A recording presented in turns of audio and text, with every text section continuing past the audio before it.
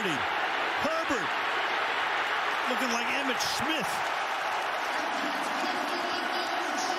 I mean, look at and then Herbert, he's down, and now what do you got going on here? You got Heyward there.